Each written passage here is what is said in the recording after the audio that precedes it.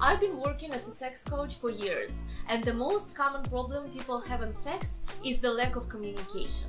Sometimes they both do it completely wrong because they simply don't know what really makes their partner feel good and they compromise or fake orgasms instead of fixing the problem.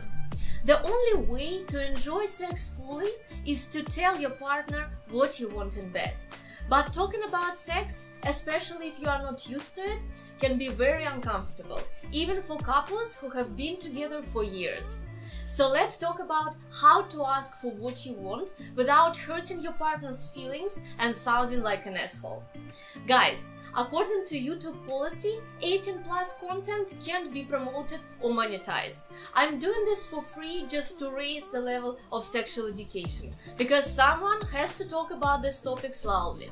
So please like and subscribe, it's not that hard and I will appreciate it a lot. First of all, remember that sex is meant to feel good for you too. Firstly, many women have sex just to please their partner, which is completely wrong. Sex is about the mutual pleasure, and both parties involved have to understand it. The role of female pleasure has been compromised because of our patriarchal culture. But nowadays, even in songs, you can hear Lil Pimp says, I wanna come, motherfucker. Times have changed, so accept this, and no matter what you thought or what you felt before, sex is not only for him. It must be the same pleasurable for both of you, and you got to do whatever it takes to get there. Choose the right time and tone. The outcome really depends on how you ask. The best way to tell your partner what you want in bed is to be direct but without complaints or offensive tone. You're definitely not doing that right after sex. After sex, your partner feels more vulnerable, and your conversation can cause the performance anxiety.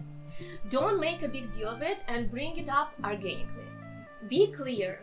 Your partner will probably appreciate the clarity, especially if your partner is man. They can't read our thoughts. When you want to make something happen, the biggest mistake is to hint instead of saying direct, because he will never figure that out. Not because he is stupid, but because male and female brains work differently. Men, when talking to men, are always direct. That's why it's a way less common for men friendship to have hard times or misunderstanding, which is so common for female. We are not talking about being direct like I don't ever come with you. Clarity means explain what you want him to do, what moves feel good, and what's better not to do at all. Show him what you like. Guide their hands or move their face how you want it. Literally show him how you masturbate alone. It will turn him on, and your comments will make it easier for him to remember the technique. So tell them to curl or uncurl the tips of their fingers, guide their tempo, and when they do something great, give some positive feedback. Likewise, when they don't do something right, say, that feels a little uncomfortable. Make it a part of your pre-sex build-up. In my opinion, sexting is the best way to deliver the message about what you want to try. Sexting helps to build up the passion and excitement. Just text him in the middle of the day things you want to try.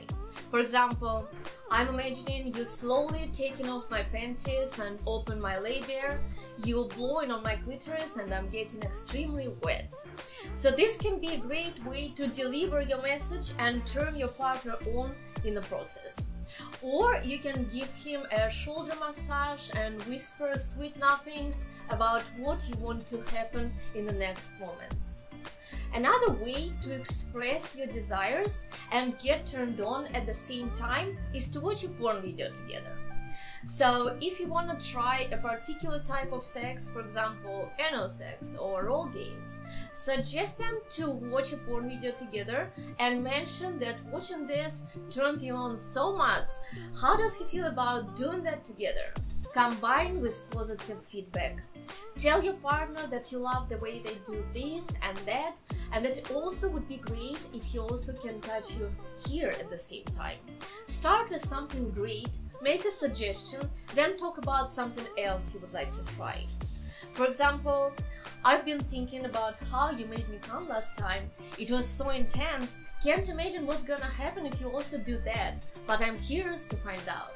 Ask them what they need. Don't be demanding. Make it a dialogue.